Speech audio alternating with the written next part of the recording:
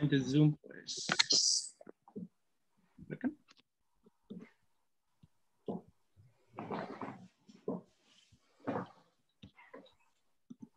Ali, I can't go into the Zoom place. It's out, the Zoom place.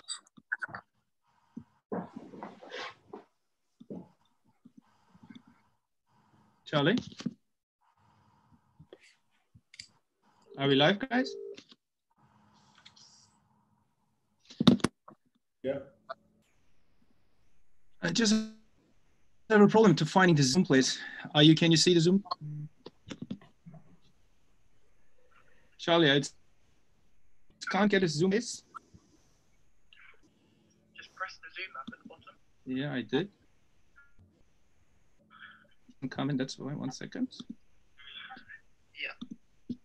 Yes, okay, guys. Hello, and uh, welcome to everyone. I think Turul, you start? Yeah. Let's start, right? Yes, just, All right, let's go, guys. Hi, and welcome to our online webinar with the topic of the art of sports networking brought to you by Football Agent Education and German Foundation for Integration. My name is Turul Aras, and I will host today's program. So just a short introduction to the topic. So many of us are dreaming of their of their favorite job, or they want to they want to develop themselves inside their job, what they have now. But unfortunately, it's not always easy to reach out to the people who can help accomplishing these goals. So that's why a strong network is key to professional success. And this is also why we have organized this webinar with three pros in networking who will share their experience with us from everyday sports life. So I'm really looking forward to that. First, as a speaker, we have Daniel Geey, who is a sports lawyer from London, and he's the author of the book Done Deal. Second, we have Misha Sher, who is the global vice president of Mediacom Sports and Entertainment, also from London. And last but not least, we have, we have Dr. Erkut Sögüt, who is a player agent and a lawyer himself, all three from London. So thanks, guys, for being with us today and sharing your experiences. We're really looking forward to it. So let's start with Erkut. Erkut, what can you tell us about networking? uh, first of all, uh, Turul, thanks for the uh, introduction. Thanks a lot. And I'm uh, more than happy to share today the stage, I would say, if you can say that when you do an online webinar with my colleagues and friends, uh, Misha Sher and Daniel Geey. It's uh, fantastic to have you today here on board and, uh, and hopefully all of us working in different kind of areas in football, we can help to explain about the networking. So thanks for being with us. And uh, yes, I would just start first and explain what I think about networking, how I think the areas of networking is important for you. And I prepared a very small presentation for that. We were discussing actually before with uh, Misha and then will we do one or not? So I just prepared the, the tiny one. I hope it will help to give you a better understanding. So I'm just going into the presentation. I might take some notes as well, Erkut. Yeah, I I don't think you you need to uh, need to take some notes, my friend. So, but uh, so now I'm opening up the presentation. So you let me know once it's there and.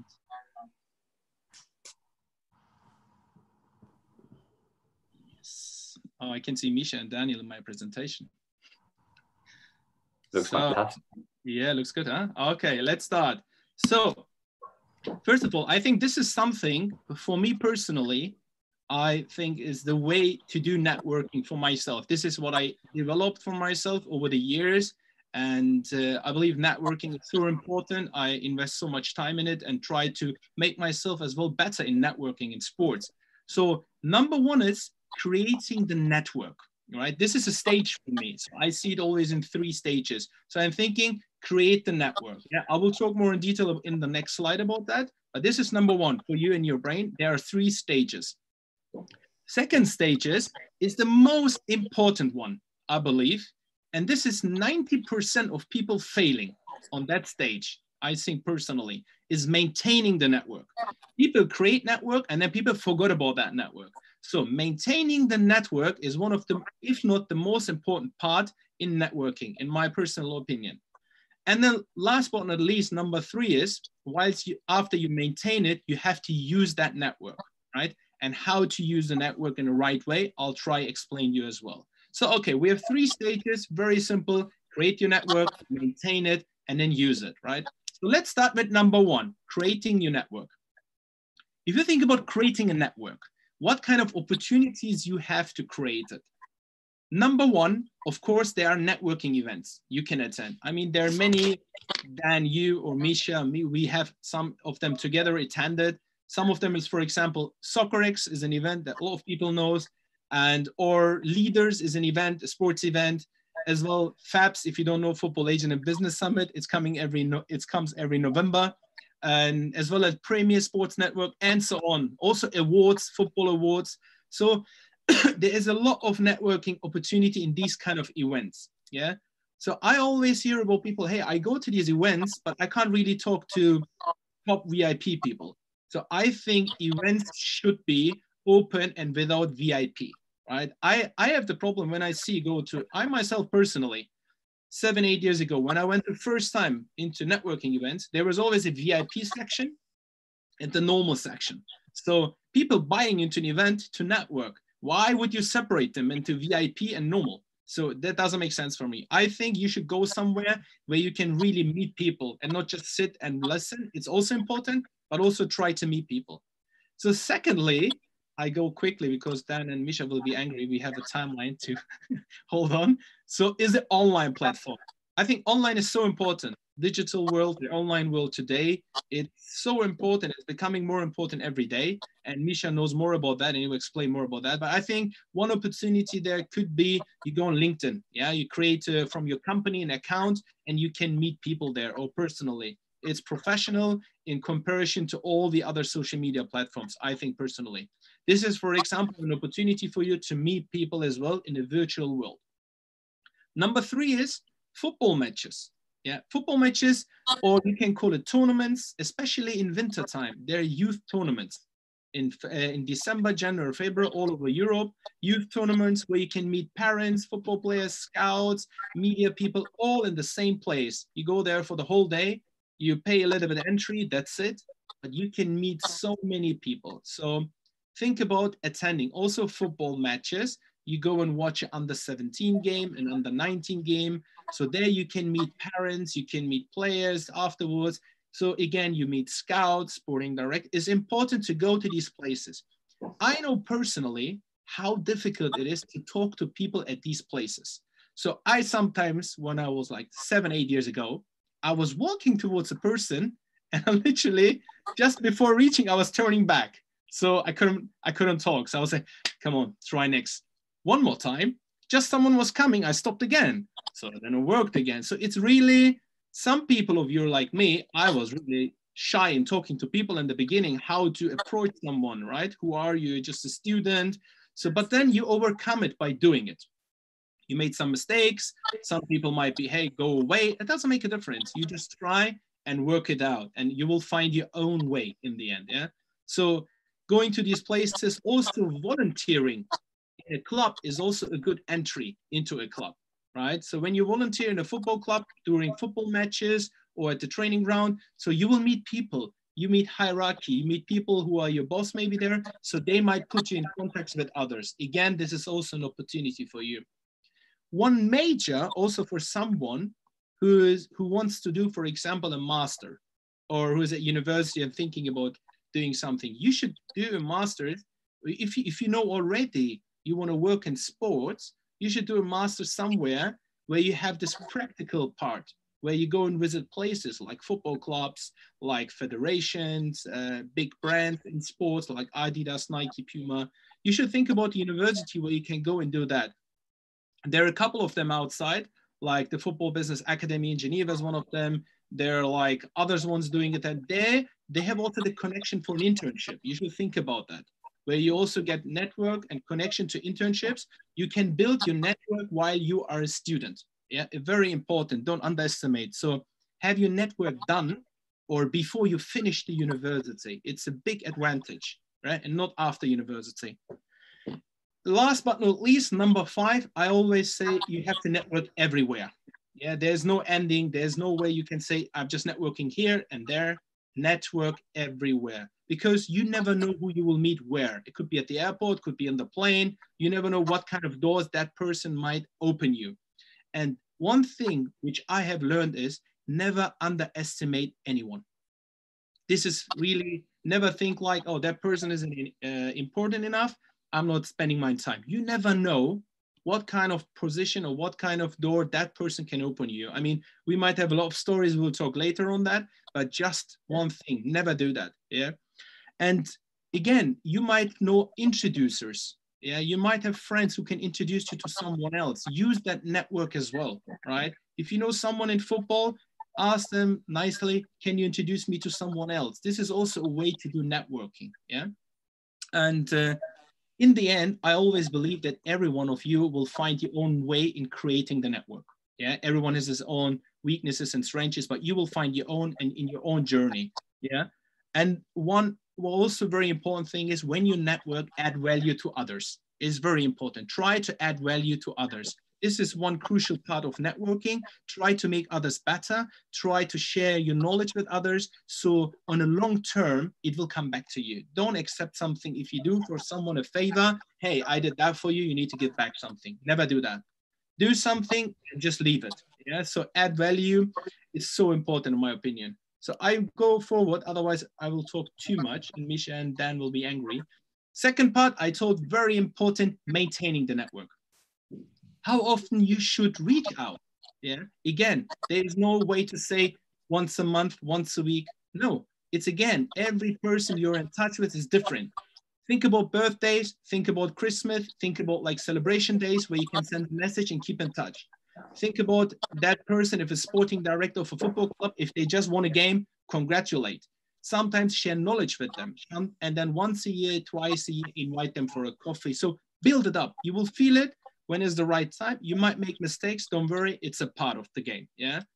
And how, yeah, how should you stay in contact with them? I just said, yeah, it's like everything is like every single person is different. You will learn how you will stay in contact with them. That means through phone calls, emails, but I always believe emails is a good start for someone you don't know. Or if someone introduces you through WhatsApp, through a message is also a way, but emails is good. And after an email, you can do a follow-up call. Say, thanks for introduction and do a follow-up call. Maybe we can have a phone call. So you already meet someone on, on, the, on the phone and later on, you can meet someone.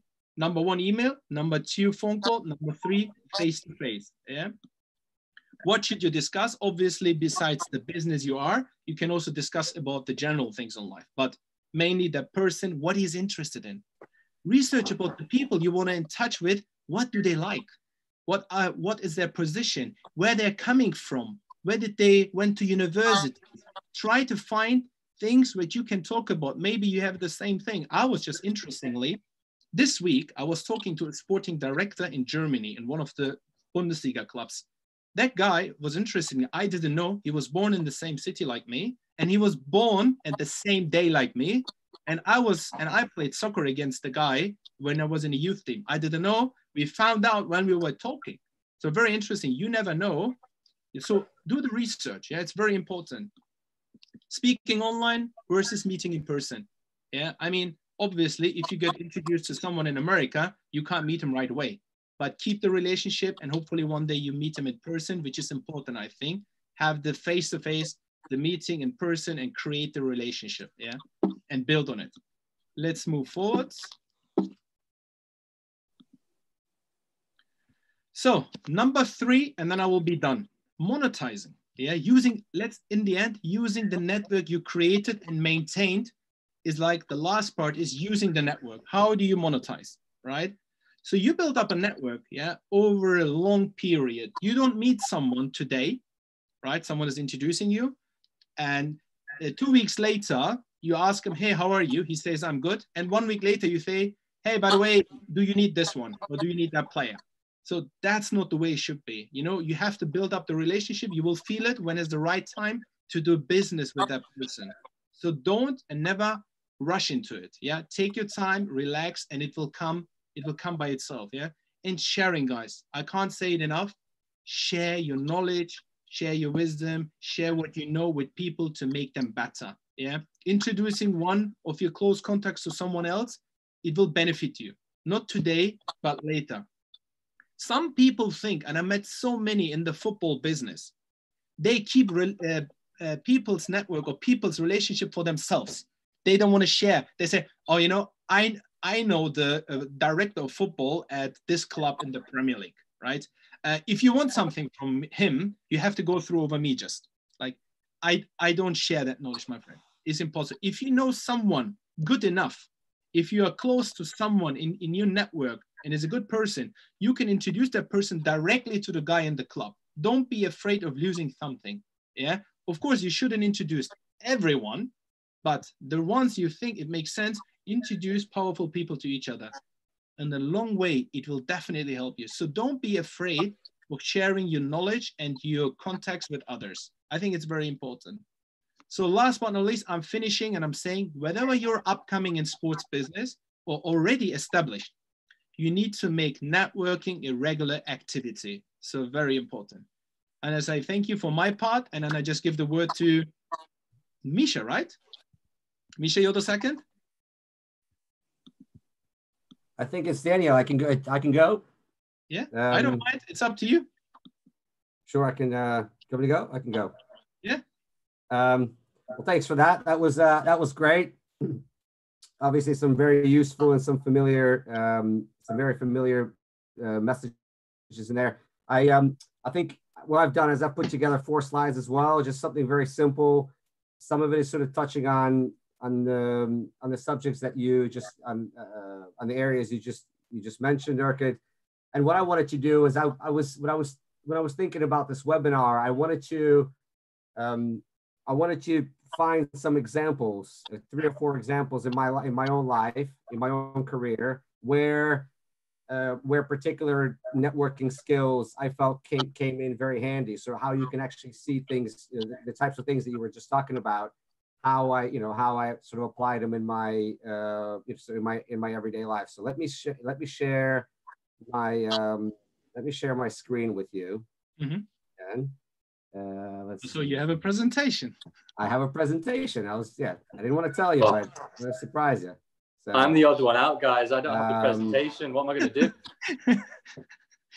let me see. So, um, so a couple of I, will just share a couple of a couple of my stories, if you you know if if you don't mind. Um, you know, Erk uh, Erka just mentioned at the very end of, of his uh, um, of, of his part that you know networking is networking is a habit. It's something you have to develop. It's something you have to make part of your life to you know to get better at it to be um you know it's like it's like an athlete. You have to you have to train you have to improve and it's something that just becomes quite natural. And you know when i i'm sure there's quite a few people on this uh, you know on this webinar who are probably sitting there and thinking where do i even start? I'd love to get into this industry. I don't know anyone. I've never worked in it um, and I was in exactly the same position. Um, you know, in 2005, I didn't know anyone in this industry. Um, I took a chance and decided to come over here and do my do my uh, do my master's, which you know Erka touched on as well. You could do it through university, but what I I at that point in my life, I made it a habit to um, to reach out and to try to meet people and uh, try to broaden my network every single day. So you start with nothing, but if you reach out to one individual a day, for example, you can imagine what your um, not only how, how much better and more effective you get, but how much your network will grow over a course of a year. So, and that's exactly what I found. So over over time, um, when I reached out to people, when I when I expressed interest in them, when I wanted to just get 15 minutes of their time to get a coffee, more often than not, people were very very receptive. Um, and they did give me 15 minutes of your time. And then it's your responsibility, or that's the opportunity for you to develop that relationship to a point where you can meet with that individual again and again, and that and that relationship uh, and that relationship evolves. But the bottom line is that you know, like like anything else in life, it doesn't, it won't come to you. You have to get out there. You have to proactively, uh, as uncomfortable as it may seem, you have to proactively get out and um, and really i think at the heart of it has to be the interest that you show in other people. It's not just about the fact that you want to get into the industry. It's about your fascination with other people's stories. How do they get into it? What their day-to-day life is like? What do they like? What they don't like? You'll learn a great deal. You'll bond with people. Um, so that, you know, for me, it made a huge difference. I got into a habit of doing that when I started, you know, and, and, you know, eight or nine uh, years later, I was, you know, I had an amazing job um, of work, you know, working with, working with Pele. And I would have never got there had I, you know, had I not made that a, a, a habit and got on people's radar and, and, and built a network that, that enabled me to, to sort of to, to, to be front of mind and to have the sort of relationships that lead to um, lead to new opportunities. Um, the other uh, the other point again, not to not to repeat what Urka said, is is the point about giving without without expectations. So really, just a really really uh, important skills, not just not just in networking, but just in general. I think if you're the type of individual where whatever you happen to be doing, you might be looking after a player, or you might know um, you might know people in a certain country or you have access to certain information whatever that happens to be where, whatever role you're in um, if you're in position to help other people you should always look to do so just because it's a great thing to do um, you know the industries it seems like a big industry but it's actually quite small and if you become the type of individual who is known to be selfless to be helpful to others um, to be willing to help if you are in position to help, however small that may be. It may be just an introduction. It may be a document you can translate. It may be uh, something, whatever, whatever it happens to be. But when I was, when I had my first job um, at at Soccerex, the business was all about getting people together. So I, all I was always thinking about how could I understand what people are doing, who they're trying to meet, what relationships they're trying to build, and how I can be the conduit to that. How can I facilitate even those even those small introductions that can help people do business and, and other things. And what happened in the end is that I built relationships. Um, and eventually one of these people who I built a relationship with called me up five years later and wanted to hire me when he became a chief executive of a football club. Right. So I didn't know that at the time. I didn't know um, how what what or how it will happen, but I, it didn't matter to me. Uh, it wasn't important. What was important is I, I actually genuinely um, got a lot of satisfaction of the ability that I could I could be in position to help other people, and that's all. And you know what goes around comes around. It's true in football in the same way. It's true in in in uh, you know in other aspects of your life.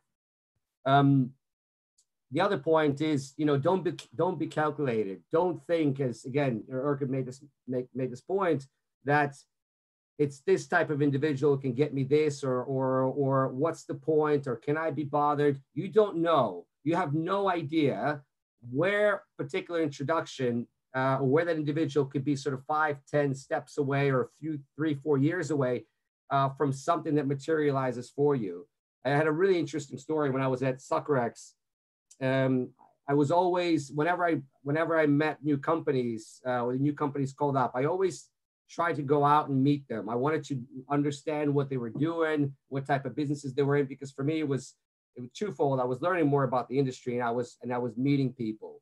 And again, you just never know. And one one time was a company um, that was in merchandising business, and I really got on with them. We just we just really um, we just really kicked um, really got on together, and it turned out that they knew someone they were very close to a guy who was who was one of the top producers uh, and uh, TV talents in, in the U.S. And I came from the U.S. and I knew exactly who he was. And they said, "Hey, if you don't have anything uh, going on on on the weekend, um, maybe you can join us at Old Trafford. He's coming over, and I think you and Nick would get on really well." Said, "Okay." So next thing, I'm on the train with this guy Nick. We meet at King's Cross. We spend all day together. We're on the train. We're at the game on the way back by the time we came back, it felt like we, you know, we've known each other for 10 years. He says to me, Do you know what? I love the way you think about football. We get on well. I run, you know, I do my shows on, you know, on Fox back in LA. Next time you're in LA, you come on and you do a show with me. Three months later, I was in it was I was in LA. I was on TV. I was doing a show with him that, that goes out to I think 40 million people. Right. So, and once you're on that, you get asked to do. I, I, was then asked to do a podcast, and I was asked to do, and eventually, years down the road, I'm co, you know, I'm I'm in the groups of people. I'm co-authoring books and so on. What I, the point being is, you never know where a particular encounter could lead, and that's exactly how you should approach it. Be really open-minded, embrace, you know, embrace the opportunity to meet someone and see where it goes. And last but not least is, um, you know, the opportunity when you meet people is to really go, you know, go beyond the surface, really genuinely look to get to know people because oftentimes when we're when we're networking you might go to a networking event and you're thinking about how many how many business cards you might have gotten or how many people you have you're connected to on linkedin. But the reality is there is only so many people we can be connected to and have a relationship with. So and it and that takes an investment. So and when you're showing interest uh, in people it demonstrates you go that that level beyond where you're just another number um, it becomes a relationship. When it becomes a relationship, something gets nurtured and nurtured, and you know you're building the types of you know it becomes more than just a network. These people are they're your friends, they're your associates, they could be others. I mean that's you know again I use the example of David Dein as someone I met many many years ago. Just big, just asked him if he'd meet me for a coffee, and over time I invested and invested in that relationship to a point where you know it's someone who's become like family to me. So um, when you're meeting someone, ask them questions, ask them about their family, about their hobbies, about their favorite teams and things like that. And, and I, I have a, I have a, a habit of, uh, of course, you can't remember all of these, but I have a habit of saving that, right? So if I, you know, if I have you in my phone, I'll save it that, you know, wife Lauren, kids so-and-so, they play football. And just because um, I just want to be able to remember. And Next time I'm speaking to someone, I can ask how you know how is the family, how are the kids, are girls still playing football, or you you know you guys still spending your summer in you know in such and such place. It's something that elevates you above other people. It demonstrates that you're listening, that you genuinely care, that you remember. And I think when you're when you think about network, and the most important thing is building the relationship that allows you to then you know, to then sort of benefit and, and, and really have a, a group of, uh, you know, a group of friends rather than just associates that you're not that connected to. So that's it for me. I know some of these, uh, and, you know, Daniel might mention uh, similar ones, but I wanted to put context around it because I think, I think that's important. And um, yeah, thank you for listening. Thank you uh, very much, Misha. Uh, I think it was fantastic. Uh, thank you, Misha, and especially uh, the first picture with your with your bags arriving. it looks amazing. Well, I, I, I, I think that you know the what's interesting about that is, and I why why I use it is that a lot of people when they think about the industry can be quite overwhelming. They think, you know, oh, so and so must have had an in, you must have known someone Erkut, or you got lucky, and you know, you will get you will need certain fortune along the way. But I mean, the point of that picture is I you know, if you if you have the will, if you have the desire, if you're genuinely the type of individual who invests in others, you'll find that you know you'll uh, you know luck luck will be there for you as well. I agree. You're right. I like the trousers, by the way, and I give the word now without you answering. Now, now it's out there. Now it's out there forever. yeah, it's true.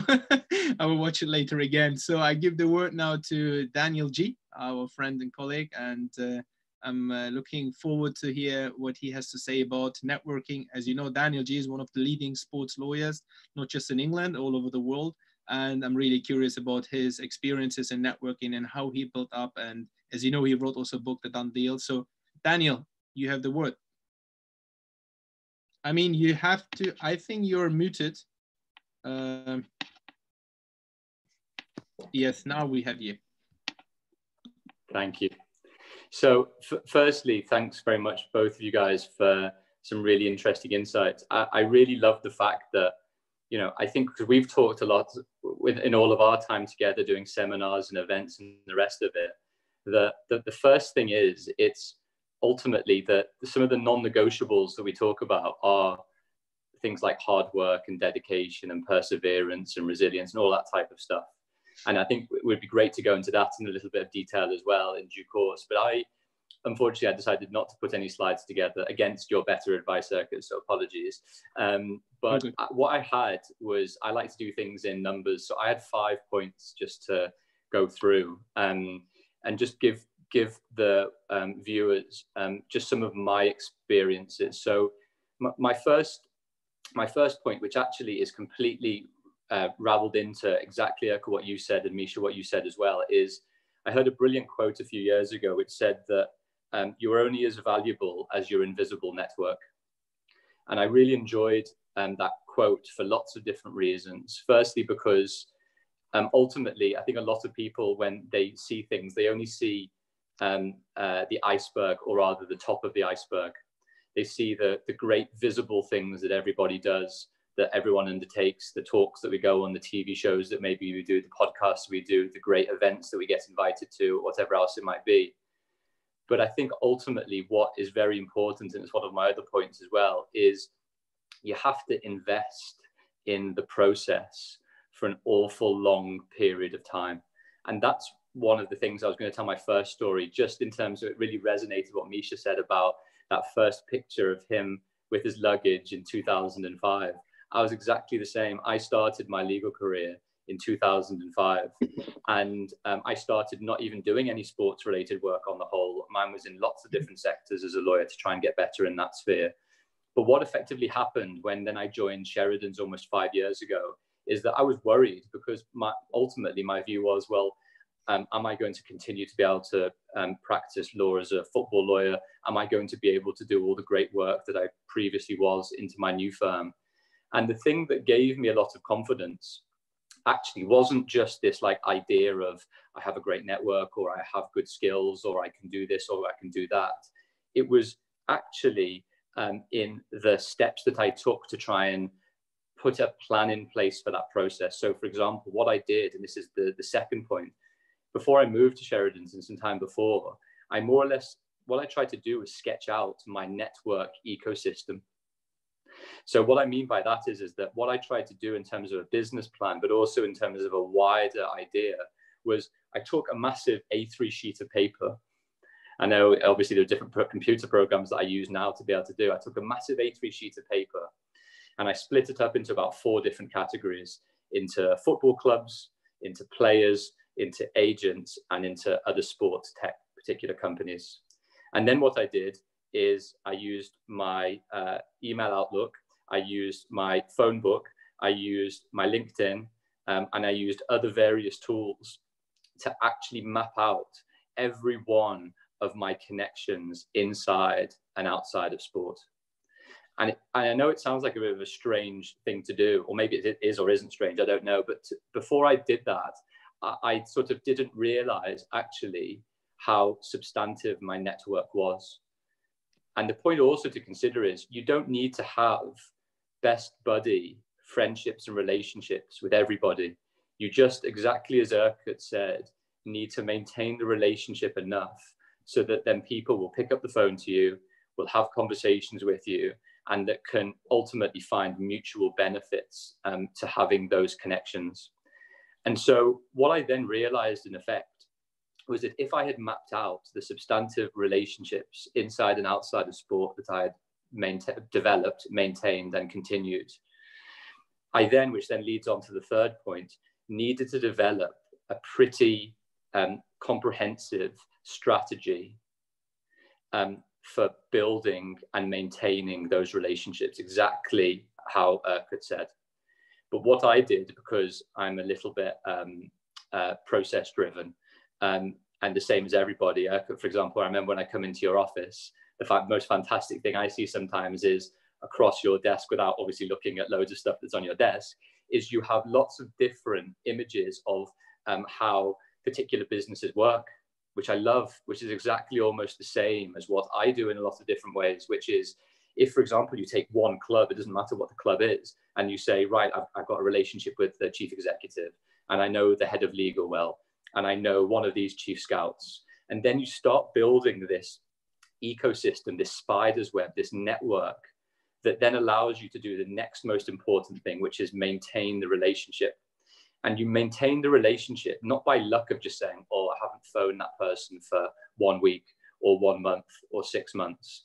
You do it by constantly ensuring that however you do it, if the ecosystem is there, or you're putting in, you've got a specific business development program that allows you and reminds you to get in touch with people at a variety of different times. So I have a piece of software that allows me and reminds me to get in touch with the 450 people that are the closest connections within my network that I feel.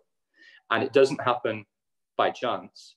It happens because I am specifically inputting that data. And then those automated reminders are telling me and reminding me to get in touch with that person. Exactly again, as you said, Erka, maybe it might be a phone call, maybe it might be an email, maybe it might be a coffee, maybe it might be a LinkedIn message, maybe it might be on WhatsApp, maybe it might be a voice, whatever else it might be.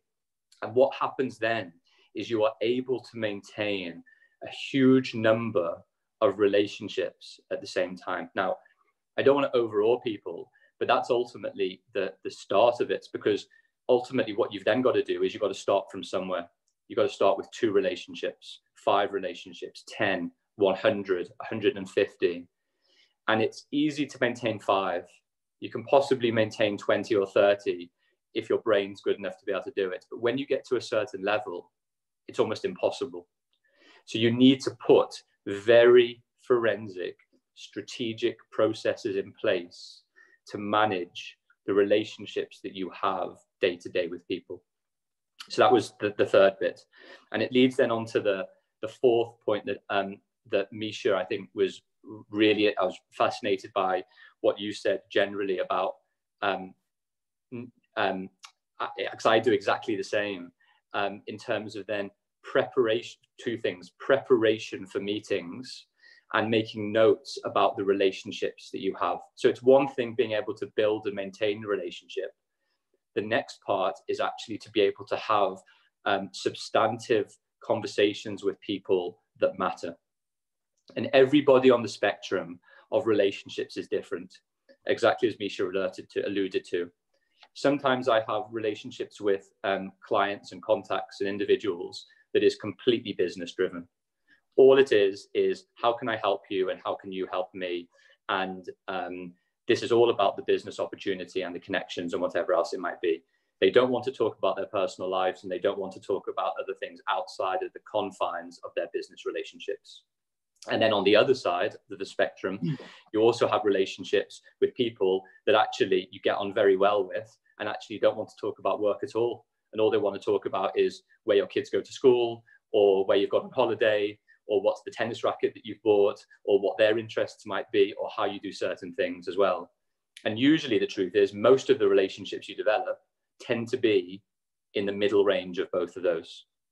And that's effectively how you balance all those different types at the same time. But by way of example what i tend to do when i'm have, about to have a meeting with someone or a set of meetings with other people throughout a period of time, you, you've got to spend time preparing for that meeting. It's absolutely vital to invest in every meeting that you have, even if it's five minutes or 10 minutes. It's studying the notes of what the last meeting was, even if it's two or three words or sentences about what actually happened, so that when you go into that meeting, not only are you playing the person, i.e., you know what the person's personality character traits are like, how they're going to be, whether they're going to be interested in small talk or whether they're going to get right down to business. Um, and then you show your willingness and your assertiveness to, assertiveness to demonstrate that you've been listening. It's exactly what Misha said, that you've been listening precisely to what they have been telling you previously so that they understand you know what they need. Because it's not about you, it's about them. And that becomes um, a very important part, which then leads on, if it's okay, then briefly to number five, um, which is, again, I, I, I couldn't, I couldn't um, stress it more in what Erkut and Misha said. When we talk about, if I go back to the first point, which is the value of your invisible network, the output of the value of your invisible network is the value in your connections for yourself for building business but as importantly for others in making introductions and making the right introductions. Because a lot of the time, what you are aiming to do is provide the opportunity and the ability for people, strong people in your network, to find opportunities in your network, so long as they are the right opportunities. But ultimately, what I've realized from the book that Erka and I've talked about for quite a while, and I'm sure Misha has read as well, which is how to Win Friends and Influence People, which is one of the, the most incredible books that I've, I've ever read. It's yeah, it's it's absolutely sensational. Really good, um, and we're not on commission to sell it, so you'll be pleased to know. but um, the, the most important bit about that book that I found, which was you've got to find the other person's interest. And once you find that other person's interest, you develop the relationship that way so that you are listening, but not just listening so that you have the next question to answer or to ask, but you're innately listening so you understand their needs, not your needs. And when you physically and um, mentally understand that what mm-hmm. conversations you are having are more to do with what they need rather than what you need, the question becomes instead of what can you, the other person, do for me, it becomes what can I do for you? And that ultimately is probably my, then my last point, the value of connection. So they were my they're my five initial points just to just to have start that conversation. Thank you very much, uh, Dan. I think it was fantastic. I mean, we have two different or three different insights here, and I think for the listeners, I think it's uh, really valuable information how you guys uh, created your network and uh, we have heard about Misha, what he did, how he ended up in the end, how, how he started in a difficult way, and then his whole journey to where he is today. I think I want to remind the listeners, it doesn't happen like this for no one. All of us had a long and difficult and hard journey. We all made mistakes. We all sacrificed a lot of time. We didn't go out. We really, we really spent that time to network, to meet people. As Misha said, he's going the whole way up the Manchester and back you know it's important that you invest the time into people and that you create that network it doesn't develop from today to tomorrow it's a long journey. It's a long investment but it's the right thing to do.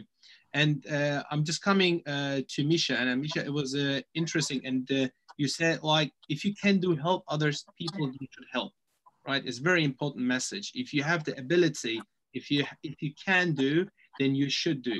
And and and you said you had a uh, you met someone on the way. It was David Dein. How that that kind of is it becoming more a mentor for you? Because a lot of people in their lives they had a mentor. I mean that question goes for both of you as well. Like you guys had mentors in your life who was there for you and showed you the way what you should do. Put something onto your lives and change it in the right way, in a good way. Um, yes, yeah, it's been I've I've been very fortunate to have. I mean, not just David. I mean, David's David ended up being great, but I think the, the interesting the interesting thing about David and, and the point that why you know why I used him as an example is I think sometimes we we tend to think that there's certain particularly when we're very when we're just getting in is that there is no way I could get on someone's radar. I mean, come on. I, I mean, when this happened, David was you know, David was the vice chair of Arsenal, the president of G14, the you know the vice president of the FA. You think what this guy's not going to give me time of day. I mean, come on, he's he's he's busy enough. Um, so I think you know, and he, and and, and he did, and, and over time, that relationship has evolved to the point where, you know, what happens is when when you, as both of you have, have alluded to, when you connect with people genuinely, when you're interested, because the end of the day, it's not just about network; it's just about how you connect with other people um, what happens is they, you know, you you start to relate to one another, right? They see you in a different light, and David saw in me, and I, I it's someone who who was ambitious, um, who wanted to do well, who was who was obviously who was prepared to work, and he wanted to help. Um, so, and I think, you know, Erkan, I, I know that um, you know, every time in your office you have lots of different interns and stuff. You're you know you're the same way. A lot, a lot of guys and Jack, Charlie, these guys have been with you for years it's about you know the um, you, when you ask when you're prepared to ask the question when you put yourself out there you'd be amazed at what people are prepared to do uh, you know what people are prepared to do uh, you know for you i have another um, guy who's a mentor a friend he's now his name's Tim Hinchey he's now the the he's now the ceo of us swimming but he was he was at um, he's, he's, a, he's been in sport his whole career but there are some people you'll meet who are who just connect with you on a, on a as you know as Daniel said, sort of on a on a different level, um, where you know you become more the way that we are, um, where it's more than it's more than just business. It's it's it's, it's friendship. And um, and it's really really important. It's it's it's, it's free. These people can be um, because they understand how you are. They can be very helpful to you as you progress through your career, and you can be a, a genuine sound bo- sounding board for not just for introductions, but also in terms of directions that you want to go.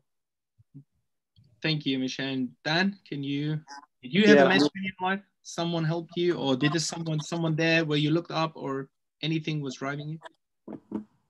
Tons of people. Um, I remember before I was even a lawyer, there was a, a, a sports lawyer now that gave me his time. Very prominent guy, even then, even more so now. Some of the guys that I've worked with uh, at my law firms as well um, have been fantastic with me. Um, I think, I I think also the other the other side of the coin is, and it's easy to confuse one with the other, is whilst we, we're talking about networking and connecting with people and building relationships, the, the other side, which I know we can talk about as well, which is part of the same, the same coin or the other side of the same coin, which is, you know, in order to invest in your network, your ability to be able to connect with people, you've got to be able to say interesting things, I think, at the end, or to show your, your knowledge and your knowledge base in particular areas. So I think in a way that you know, I hear all the time. I know you do, Urka, as well, and I'm sure Misha does, which says, you know, I want to be a football agent because I love football, or I want to get into sports marketing because I love sports, or I want to be a football lawyer because I love football. And when you delve deeper um, and you ask them, well, why do you want it? It's because, well, I watch tons of football on television every day, and I'd love to meet the players, and I'd love to do this. When the truth is, is that that might well be the case but actually they're not going to help you in your uh, quest to try and get a type of job inside sport. The, the way that, in my mind, things work better is when people come to me and say, um, I'd love to be a sports lawyer. And I say, great, what, tell me about the things that are interesting in the sports world right now. Tell me about the cases going on, the regulations that are changing, the issues going on generally. And usually it's the exception to the rule that then someone will say, ah, you really should say that's great because um, I read this article about financial fair play or the FIFA cha- changes to the transfer system or the employment law issues involving release clauses or whatever else it might be. And the reason why I say all of that is because alongside networking, what is absolutely vital to be able to do is to invest in your own skill set and knowledge base. And I, I, might just ask you a question in a second, Erkut, just if I finish just one point, which is by then investing in your skill set and knowledge base, what that enables you to do is to be able to then, when you do network with people and have conversations, is that you can talk to them about in-depth matters. Because what ends up happening as as individuals get more senior and as you know we we you know in, increase our in, in seniority uh, within the industry is unfortunately because we've got lots of work on or fortunately because we've got a lot of work on we can be quite time poor at times. People juniors starting out in the industry or even before as students are time rich and their opportunity cost is low which means now is the time to build that knowledge base. So i'll give you an example. I say to every lawyer that wants to be a sports lawyer for the next year there's a brilliant website called lawinsport.com. It has a brilliant set of incredible in-depth articles on the sports and football industry. For the next year, read two football law articles per week and then come back to me. And so far, maybe a few have come back and otherwise, but the point doesn't matter whether they come back to me or not. The point actually is, is that in order to invest in yourself and build your network and strengthen your relationships, you also need to invest in your substantive skill set because that is what's going to hold you in great stead. And, and if I may, I know we may be um, changing track, but I love the story that you tell about proactivity and building the knowledge base that you had when you were in university and you first approached um, a football agent um, to see if they, you could help with them. Would it be worthwhile just two minutes spending time talking yeah. about that? Because I love that story. Of course, I can do it. And uh, thanks, Daniel. It was also great insight to see. Um, and I mean, for me personally, I realized very early, like, and my family gave it to me as well. And they always uh, implanted something into me. And I said, if you want something from someone, right, give or add value to them so they see your value to them. So they will help you, they will take your hand and they will go with you. don't send or don't ask for something just like because everyone else doing the same thing, right? Try to make someone else's life better. Try to help someone else's, even if that person is there higher than you now, still you can do something to make him better. And that was how I thought. Like I was a, a young uh, law student uh, studying law in Germany, and I wanted to get into that business badly. And I said, look, I want to become a um, I was like a sports agent, sports lawyer, but I wanted to teach as well. But I needed to get into the industry, and through an agency, a good agency, I thought that's the place I should go. So I went there and uh, I asked them for an intern. They said no. Obviously, I did the same, the normal ways uh, first because no one told me how to do it, right? So I, I went there. I asked, "Can I do an intern?" He said, "No, no." I was out after five minutes. He thought I'm there for business. So he kicked me literally kind of out, right, of his offices. And my friends, all of them said, no chance, you will never learn there. He never took someone. And then before I was leaving at the door, I said to him, I will do something for you which will make you a better agent. And then he was like, it's like, he, well, he was about to kick me out. And then he was looking at me, what do you mean? And I said, I will do something which will make you a better agent, I promise you. So I went uh, and I started writing a magazine, right? I'm just uh, 23, 24 years old. I'm writing a magazine. I was always choosing five topics. A library in the university where I was studying in Osnabrück, and my friends were saying, "You're crazy! Like, why do you write a magazine for an agency? Who will read that?"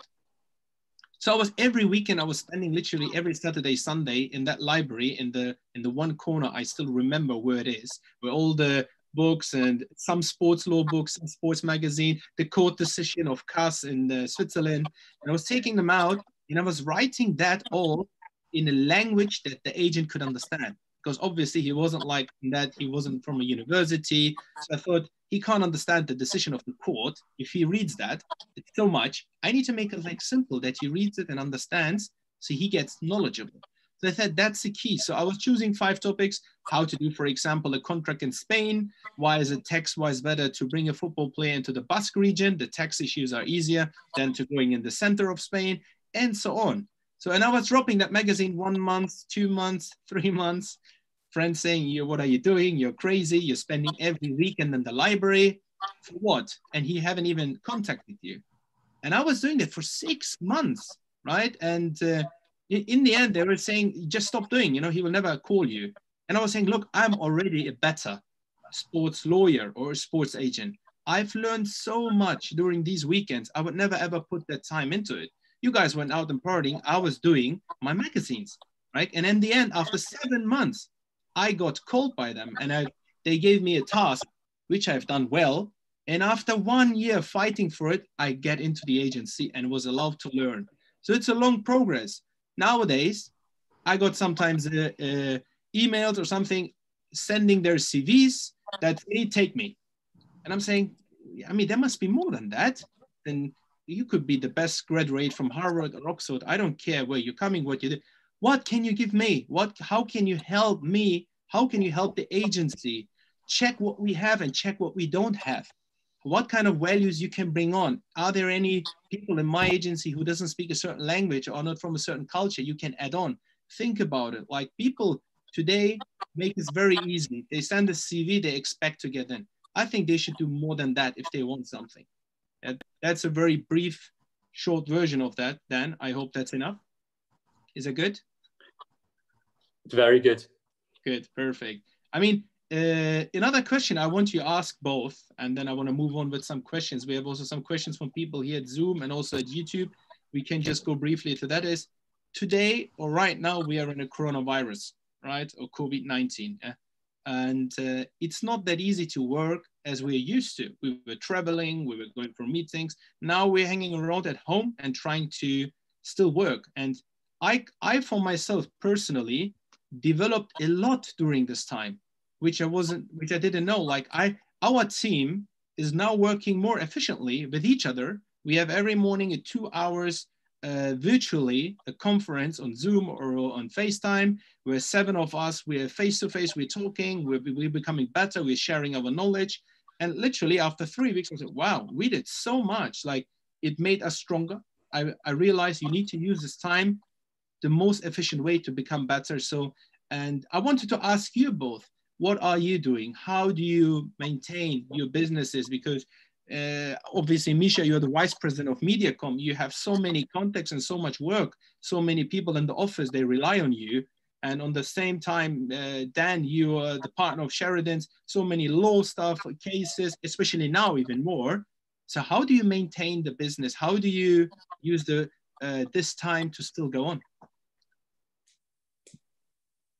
Misha, I've talked too long, so you definitely go for it. Okay. Um, well, look, it's it's it's not easy. It's an you know it's an adjustment. But I said to um, you know when when this when this happened in the very beginning, I said, look, we we don't know how long this is going to go on for, um, and we can't really control that situation. So we need to just park that.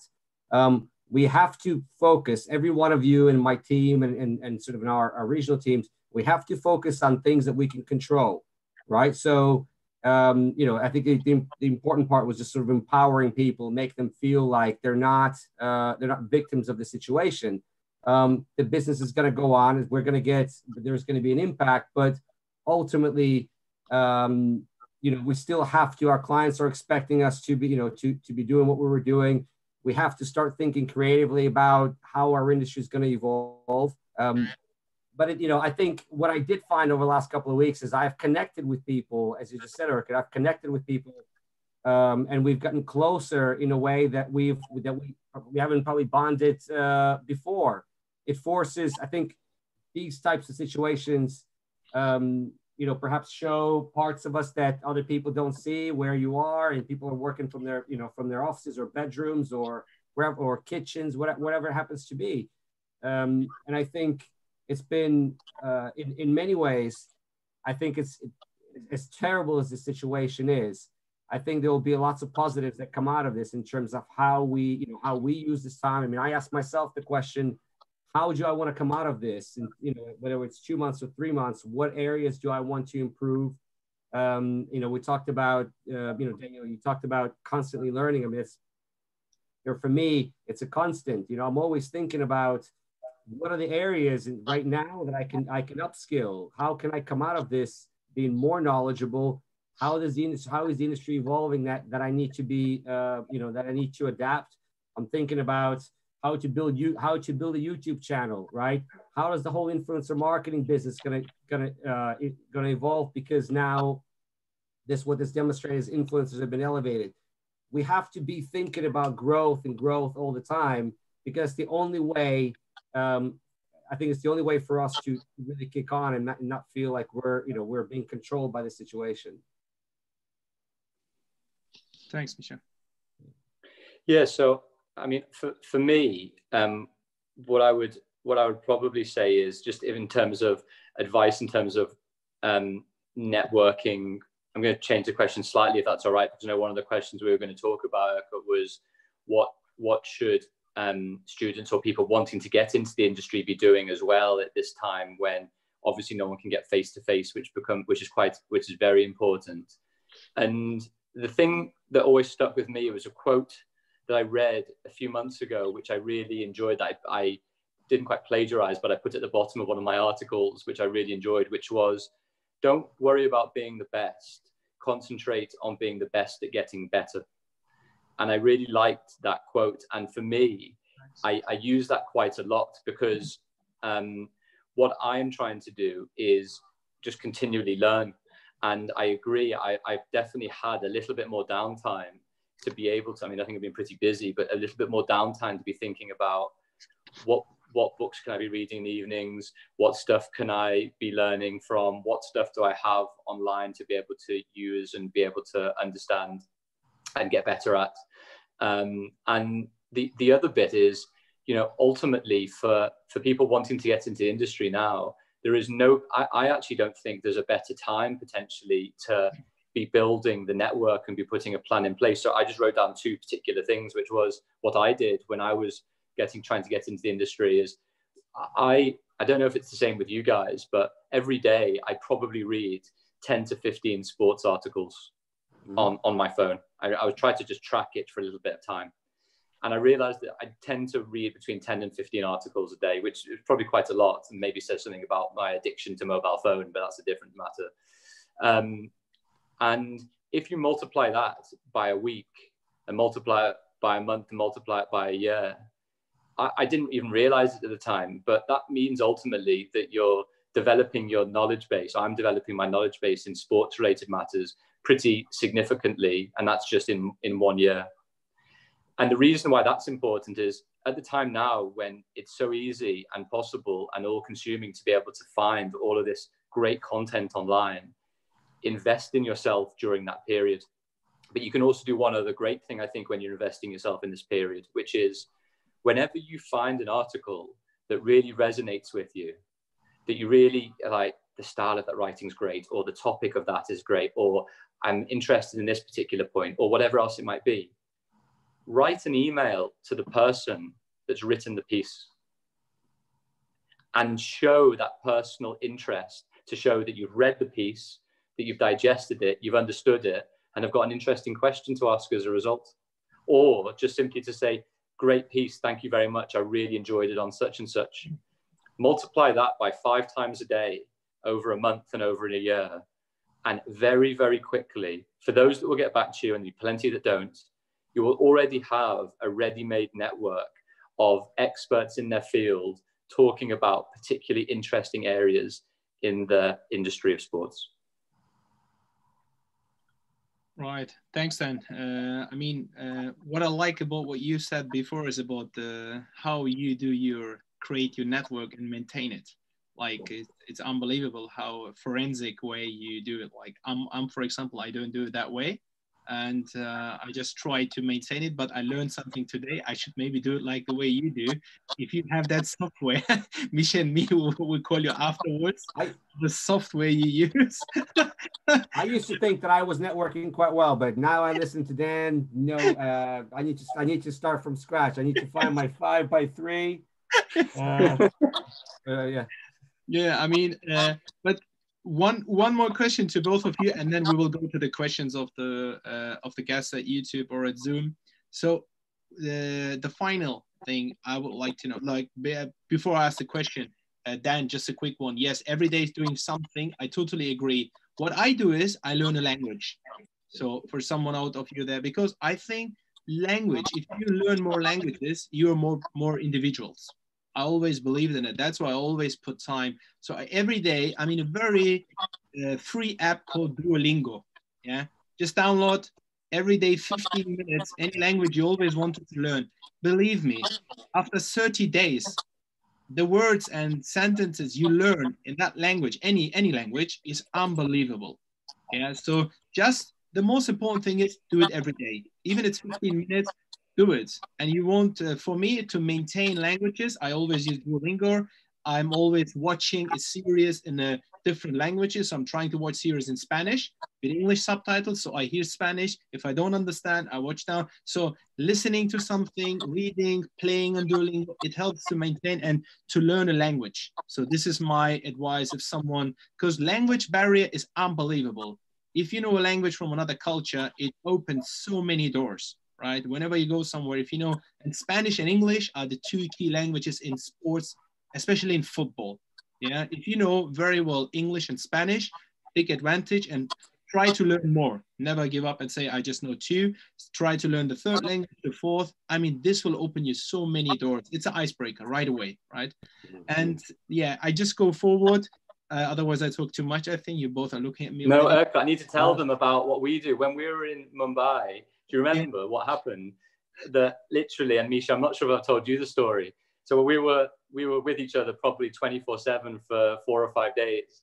Every day, guys, this guy uh, Erkut, even like in the middle of us having a conversation or when we were walking somewhere, he would just get his phone out and start talking phrases in a different language or just be looking at the notes on a particular app. Literally, if there was five minutes spare or five minutes free to do something, you'd just be like, you'd be on it. And it was amazing. So it's like anything is possible. Like even you know, most, one of the most successful agents, it, you know, has done fantastic deals. He's still looking for the opportunities to learn on a daily basis. I was like, I was like blown away that you it, find this little. It is minutes. amazing. When we were when we were in Nigeria, I was, and it's such a nice. I just, I mean, I just remember thinking about the time. You know, we were, you know, we got met by four or five guys. We were, you know, they, we were taking taking the uh, taking the, the minivan back to the hotel. It's probably like an hour and a half to the hotel, and um, and Erica started talking to them, talking to them in their local, you know, in their local language. I mean, they you should have. I wish you know it was dark because we arrived very early in the morning, but you should have seen the expressions on their faces, like they were, you know, this, like the idea that you showed enough interest. And you know what, like, and I thought to myself that, I mean, I'm not, I'm not, maybe you're doing it in Duolingo for weeks now, but something as simple as just certain phrases to say hello, how are you, good morning, you know, showed them that that you know cared enough um, about the about the place it was coming to and the people it was going to meet to learn the language, and they were and it just it was like an immediate icebreaker. And by the time we arrived, it's like it's just, it's as if we were all friends. I just know, it's a it's a fantastic uh, it's a fantastic suggestion. Thank you. Yeah, the, definitely, guys. If you want to learn language, do it. It definitely will help you. And the last question to both of you, and then we're going for the questions, is about if someone would approach you after this lesson today, someone writes you an email, yeah, and want to learn from you, what are you expecting from someone? Literally, we already touched a little bit about that, but I just want to go into deeper. Like, what are you expecting from, from, from someone want to join into the business, want to become a sports lawyer, or want to work in sports marketing? Yeah. So I said, like, I expect from someone who want to come and learn from me, or or who want to go into any other agency, add value to these people, try to bring something which they don't have. What would you recommend, and what are your expectations? Maybe David, uh, David, I'm saying Daniel. Yeah, of course. So um, the first thing is short and time is generally quite precious. The second thing is it needs to be word perfect. There can't be mistakes and spelling mistakes and things that don't work. And dear sir, it needs to, it needs to be perfect. The third thing is it needs to be personalized for me. They need to know why they're getting in touch with me and what I do generally. And fourth, exactly the same point. I think you need to be able to come to the show with something. You need to be able to say, this is what I can do because I think it's going to benefit you. Case report, something interesting, whatever else it might be. The more creative, the better. Hopefully, people can see I, I like creativity. I like things out of the box. I like alternative views on stuff there's enough content out there of me and the rest of us to suggest that's the type of thing. So, you know, there's no point sending a vanilla, dear sir, I'm interested in a law job at Sheridans because you're a great sports lawyer. It's just, regardless of whether I am or not, it doesn't, you know, it doesn't, um, it's not going to hold water really. It needs to be something which demonstrates a bit more creativity and out of the box thinking. Yeah, I mean, I would agree with that, and not much to add. I think you have to give people a reason to care um, you have to you have to remember that that individual, myself, myself, or Dan or Erkut, we probably receive hundreds of emails and hundreds of LinkedIn invitations and things like that. So just keep that in mind and think to yourself, what you know, how what are you going to say? How are you going to use that opportunity to really elevate yourself? In my mind, I'm busy. I've got things going on. I'm worried about work, whatever what is it that's going to get you what's going to get me think you know what i really like this really really like the way this what this person's got to say and i, re- I want to give them 10 minutes of my time so spend some time thinking about that because more often it's a simple thing to do and most people get it wrong um, they send a generic email i think to myself that email could have been sent to anyone it could have been sent to Erka, it could have sent to Daniel. It's so it's it's vanilla, it's plain why me? What would you like? Why would, and because if you do that, I will certainly try to find the time to, you know, and I do spend quite a bit of my time mentoring people. So you just have to give people a reason to care by making it very personal. Thank you. Thanks, Misha. Um, and then, I mean, let's go to some of the questions we have at Zoom, maybe briefly. I've already read them and uh, I mean, uh, TA Germany is asking, how can I start the conversation with interesting people who would like to meet? I mean, uh, we we we gave uh, we we gave so many information out about. You just have to go for it. You just have to. I mean, just answering directly, Misha and uh, Dan. If you want to add something, always add on, and uh, you can go into the Q and A area as well if you see something you want to add. I mean, just just just go and try. You will do. You will have disappointments if you contact someone, right? But it's a part of the game it's a part of the game sometimes to fail. I mean, people expecting I talk to someone and then it must be it's it. like now it's not like that yeah you might do it one time two time three till it works right so i mean i made so many mistakes and failures in life people think we we, we are now in these positions because we made mistakes and failures we're not there because it went everything like this. It went like up and down but there we are. It's a long journey. That's you have to understand and don't be afraid of when you contact someone. That's don't be ashamed or don't be like scared. What would he think about you? You know just do it. Yeah because you'll be no worse off. You know you're, you're you'll be no worse off than before you started. Remember that. Yeah. the worst thing that happens when you reach out to someone is nothing okay? And that's the you know so in the end you're not going to be any worse off than, than you were. But the best the best case scenario is someone responds right? And you have to sort of unless you um you know one of the one of the things that David Dein taught me many years ago and you know daniel i feel bad because i haven't used any quotes so now i'm going to maybe use a quote. Um so he says you know he's he says the he uses the theory of the of the turtle um that you don't get anywhere in life unless you stick your neck out right? So that's what it is. You have to just you know if the turtle never stuck its neck out it would never move. If it sticks its neck out moves a little bit. So that's how it is. You've got to put yourself out there. And i think you know the the types of the types of things that resonate with me is is something in that note that actually demonstrates that you know something about me. You know you may be fascinated about my journey or you you know you saw an interview. You can reference something that you know that shows that you you've shown interest right? So i will reciprocate. But if it's something that's generic and i you know i'm, I'm amazed that on linkedin you get loads of just it's just nothing. People just want to connect. There's no message and you never hear from them.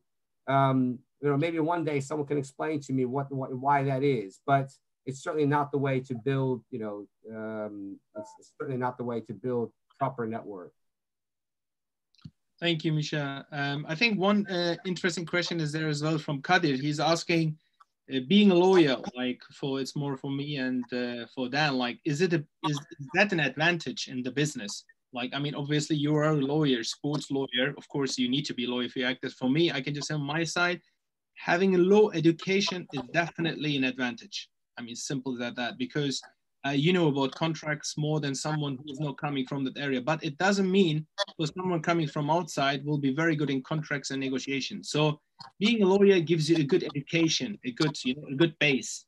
If you can do it, you should do it. I always say it, but it's not like you have to be a lawyer to be a good agent. Yeah, these are two different things. But being a lawyer is an add-on. Like like knowing more languages is an add-on. If you can do it, you should do it. Yeah. I mean, uh, there's some other questions about uh, then they're already asking for the software how to can get the software. I mean the price of the software is 999 pounds. You just write me an email.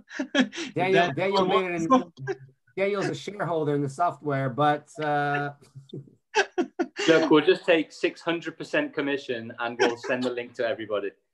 how much commission 600%. you can go, you can it's go on almost as as you take, isn't danielgeey.com it? and there is a there is a yeah there is a Oh link my to God. Amazon, right? yeah yeah So the software, just very briefly, is called Pipe Drive. Pipe Drive. pipe It's really drive cool. Yep, oh you see i didn't know Pipedrive yep. So I'll uh, I can send a link afterwards, but yeah, I would really recommend it.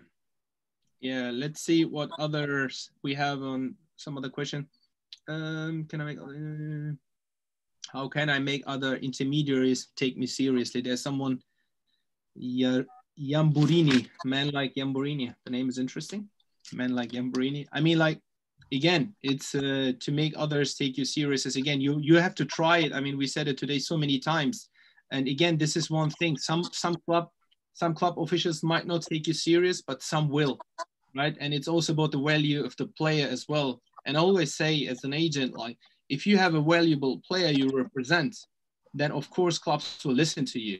But if you don't have a valuable player, then of course it's very difficult to bring this player to a club. Yeah, it's like same with brands on the brand side. If you have a good brand, if you have a good match, it works probably easier, right? Or I mean, that's very important to understand. Um, so this is inspiring, Misha. Thank you, Misha. There's a lot of inspiring Misha here.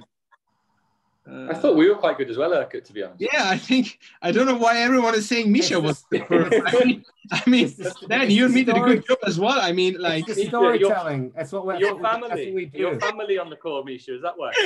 I see these are all Misha's contacts at YouTube, all writing about that was amazing.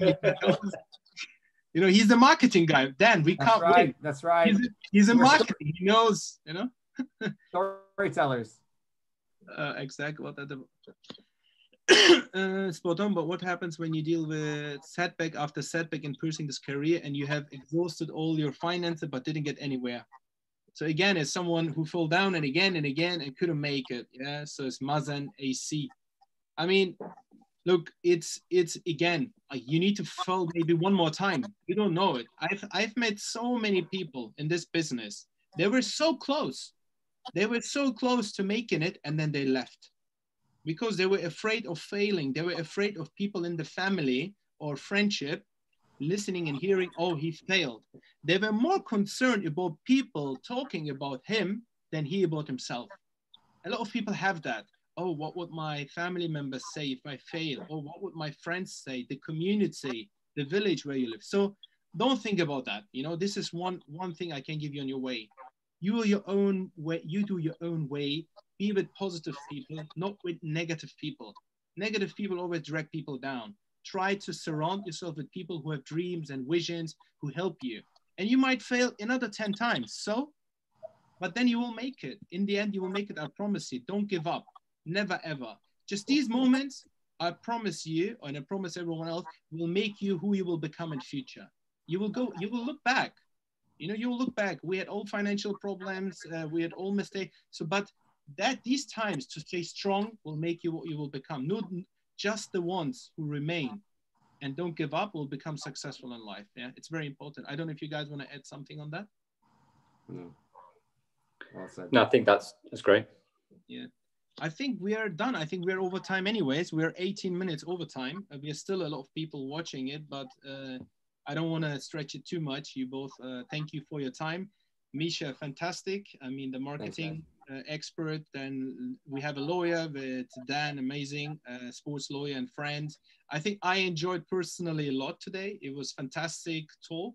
and we laughed a lot. We hopefully the students learned a lot or everyone else who wants to get into the business, someone who's already in the business. I think what I, my close, or uh, just the last thing for yourself, um, did you like it? Is something you want to add on to finish this? No, look, it's been it's um first of all, thanks thank you both. It's always it's always uh very enjoyable doing things together. Um and um you know for us to be able to do something like this in, in the current, you know, in the current climate. Um look, it's you know, I, I guess all I would um all I would say is uh, you know, it's an investment. Networking is, a, is an investment that you're making. It's an investment in yourself and it's an investment in your future. So you can't really there's you you can't really um, go wrong with it. You'll learn a lot about the industry. You'll build relationships. You'll make friends, and you'll further your career. So hopefully, you will have heard some really useful tips today uh, from all three of us that you can apply. So thank and thank you for tuning in. Then, Yeah, I then, think- then you have the final word, and then we will close. I won't say anything anymore. I just say thank you to everyone for tuning in today. And uh, I will leave the final words for Dan, and then we will close. And I said I will just leave it with saying, put someone else. So what I always say, make someone else's life better. Believe me, you will be successful in life. That's my closing chapter. And Dan, please, you're the master. Close this. No pressure. um, no, I think all I would say is like from everything that we've we've said today is trust the process. Trust the process of what you're doing. Accept you're in it for the long haul. It's not a short term thing, and the rewards will ultimately flow because you never know what opportunities that you make may be around the corner. Excellent. Well done. Excellent. Thank you and Thank you. good night. Have a good evening. Gute Nacht. İyi geceler. Yeah. Das Buenas Wiedersehen. noches. Laila and everything else. Bye, guys. Bye bye.